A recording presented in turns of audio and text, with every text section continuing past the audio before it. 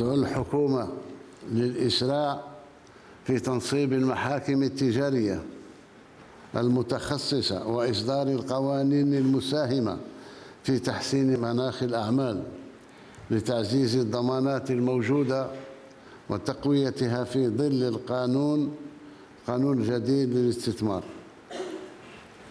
إن مسار التنمية والنهوض بالاقتصاد الوطني لا يتحقق في منأى عن أخلقة الحياة العامة ومكافحة الفساد.